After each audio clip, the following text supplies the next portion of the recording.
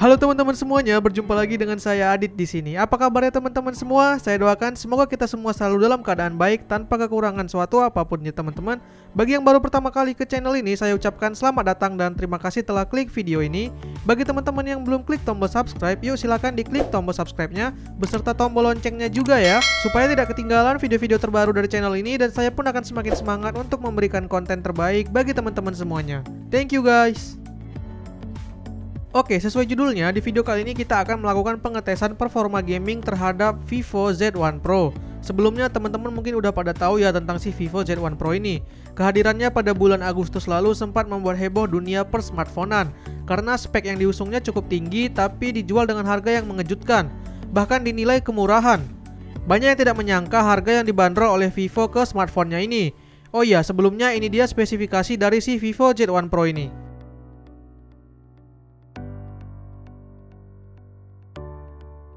Dengan spek tersebut, smartphone ini cuma dijual dengan harga 3,1 juta aja loh. Menarik sekali bukan?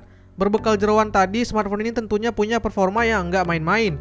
Katanya sih cocok banget buat kamu yang mencari smartphone untuk digunakan sebagai gaming device. Apalagi didukung dengan baterai yang gede membuat smartphone ini nggak mudah kehabisan daya. Sehingga kita bisa bermain game-game kesayangan kita lebih lama tanpa harus terhubung ke daya listrik. Nah untuk menguji kemampuan gaming smartphone ini, kita akan tes beberapa game berat untuk dijalankan di smartphone ini. Dan kita akan sama-sama melihat bagaimana game-game tersebut berjalan di smartphone ini dengan setting grafik apa dan lain-lain. Oke, di sini saya sudah siapkan bukan cuma 5, 10 atau 15 ya, tapi 20 game langsung. Dengan begini, saya harap teman-teman di sini bisa melihat game-game favoritnya berjalan di smartphone ini ya.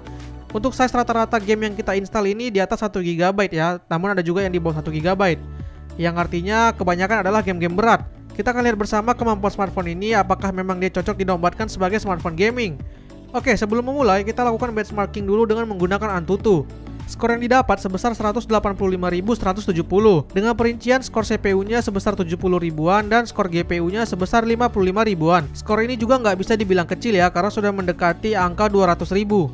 Dari skor ini mungkin kita juga sudah bisa mendapat sedikit gambaran mengenai performa si Z1 Pro ini. Tanpa berlama-lama lagi yuk, mari langsung aja kita tes satu persatu gamenya.